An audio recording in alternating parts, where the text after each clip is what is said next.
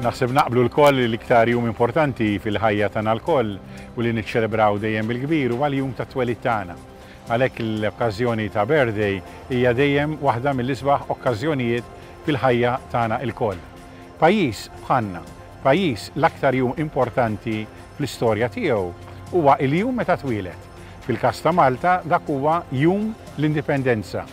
Kull żvilupp li jkun ġara wara, kull anki pass importanti li jkun ittieħed, mhux l-anqas fil-każ ta' Malta anki d-dritt li kellna u li użajna biex insiru mbagħad membri tal-Unjoni Ewropea, huma drittijiet li l-poplu Malti ħa Permezz tal-indipendenza, jiena nżid iktar minn hekk, l-iżvilupp ekonomiku, l-iżvilupp biex nimxu 'l quddiem, l-iżvilupp biex nieħdu deċiżjonijiet f'pajjiżna għal dak li huwa ta' ġid għalina, għall-poplu, għall-familji tagħna, id-deċiżjonijiet biex inħarsu lejn il-futur tagħna lkoll.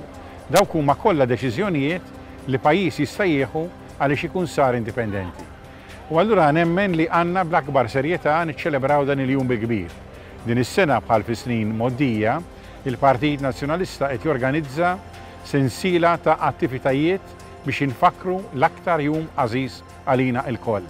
L-attivitajiet b'mod partikolari huma fil-ġimgħa ta' qabel l-Indipendenza, ġifieri qabel il-21 ta' Settembru, u jagħlqu b'attività kbira b'mass meeting kbir nhar l-20 ta' Settembru il-Furjana.